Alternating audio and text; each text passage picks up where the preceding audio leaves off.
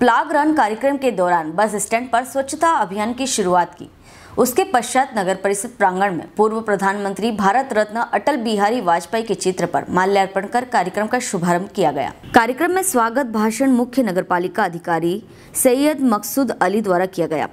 आयोजन में क्षेत्रीय विधायक पहाड़ सिंह कन्नौजे, भाजपा के पूर्व जिला अध्यक्ष महेश दुबे मंडल और कार्यकर्ताओं के द्वारा प्लाग रन में श्रेष्ठ स्थान प्राप्त करने पर संस्कार घावरी, सौम्य घावरी, कार्तिक पाटीदार को प्रमाण पत्र के साथ सम्मानित किया गया। साथ ही सफ़ाई मित्रों को पुष्पमाला पहनाकर उनके श्रेष्ठ कार्यों की प्रशंसा की गई।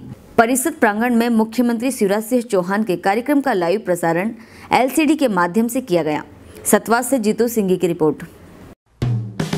हेलो फ्रेंड्स आप देख रहे हैं हमारा channel S W twenty four news हमारे सारे वीडियो सबसे पहले देखने के लिए आप हमारे चैनल को सब्सक्राइब करें और पास में लगे बेल आइकन को दबाना बिल्कुल भी ना भूलें।